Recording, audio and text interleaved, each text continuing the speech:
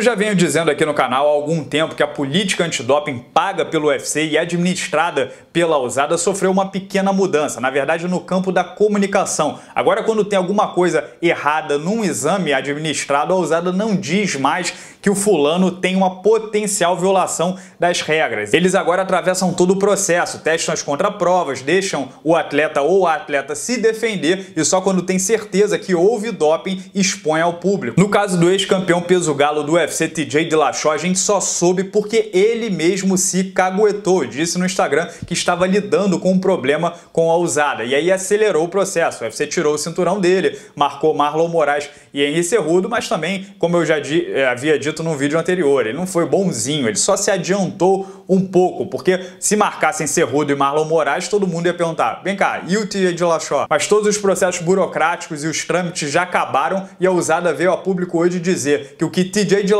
tinha em seu sistema era eritropoetina, a famosa EPO. Trata-se de um hormônio endógeno com capacidade de estimular a produção de glóbulos vermelhos e, consequentemente, aumentar o aporte de oxigênio nos tecidos, levando um atleta a ter um aumento da sua capacidade aeróbica. Detalhe, os testes que voltaram positivos são do final de dezembro, ou seja, antes da luta do Dillashaw com o Henry Cerrudo. Então, com 100% de certeza, ele lutou dopado. No MMA, Chael Sonnen já foi apanhado com EPO e no mundo dos esportes o caso mais famoso é o do Lance Armstrong, né? O ciclista multicampeão do Tour de France que fazia uso da substância exatamente para aguentar longas jornadas e aumentar a sua resiliência. E como o EPO é caríssimo, não tem nem como vir com aquele papo de que é suplemento contaminado, como explica Jeff Nowitzki, o vice-presidente de performance do UFC, o cara que apanhou o Lance Armstrong, abre aspas. EPO não é uma substância que você vai encontrar em suplementos contaminados, porque é apenas injetável. Numa escala de seriedade de casos de doping,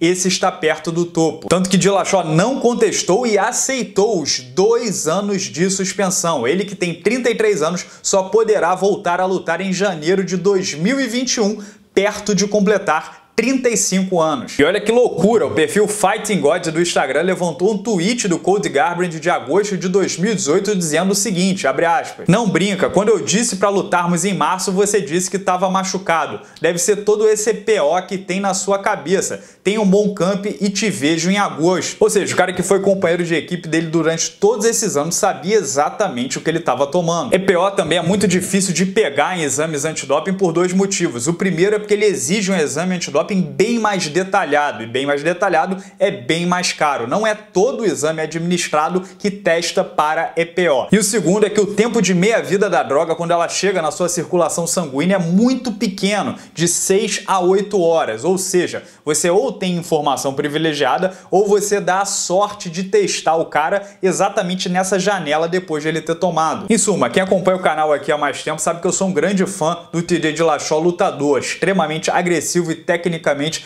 exuberante, mas não tem como negar que esse caso arranha completamente o seu legado e a sua carreira. Muita gente já o considerava um dos maiores pesos galos da história, mas sua imagem será varrida completamente para debaixo do tapete depois dessa. Mas claro, esses são apenas os meus dois centavos. O que, vocês acharam desse caso? Comentem livremente aqui embaixo no vídeo. Se inscrevam no canal para não perder nenhuma resenha. Devemos chegar a 100 mil inscritos nessa quarta-feira. Eu vou deixar os palpites do UFC 236 nessa quarta e se a gente bater a marca dos 100 mil inscritos já na quinta-feira, vocês vão ter o quadro novo e talvez um outro vídeo sobre novidades no canal. Fechou? Muito obrigado a todos pela audiência, como sempre, um grande abraço e até a próxima.